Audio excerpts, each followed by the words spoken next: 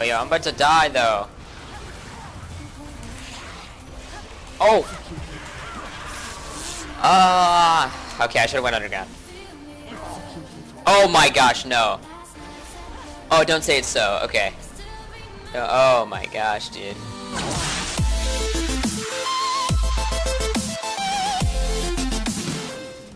Dude, he's gonna cue it. Never mind.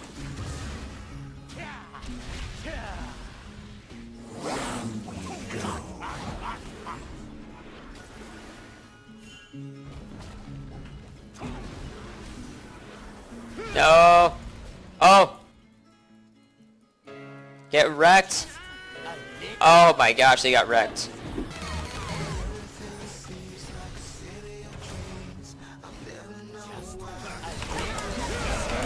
Oh shoot. I almost killed Lee.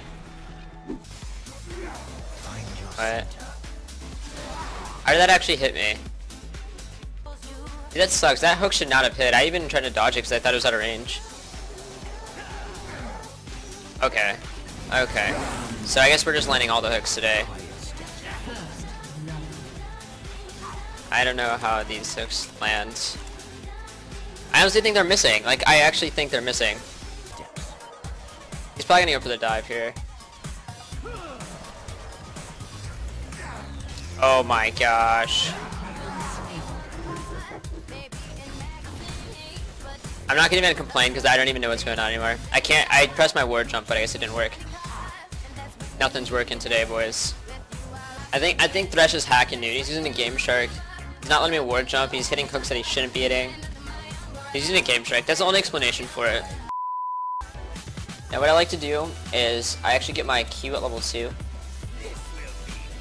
Q over the wall, B, and then go. What that does is puts my Q on cooldown so it'll come back up by the time I'm here. And I'm going to ward over the wall because what he might be doing is he, if he is starting blue, like this side, oh, he actually should be starting, like he should be doing his Gromp.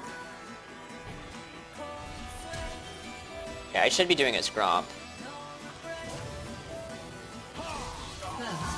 What usually junglers will do is they'll start Gromp if they're going to start blue, and they you, they won't even see you ward their blue because they're a bit too busy doing their Gromp. But um, he didn't. He decided not to. He took a different route. We still killed him, which was good. What is she doing, dude? She's playing so aggro.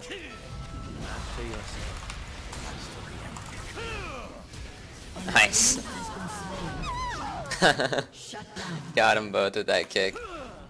I, I ulted, I started my ult animation and then flashed the opposite direction that I wanted them to go. And uh, she got clipped by that ulti at the end. As that was the goal.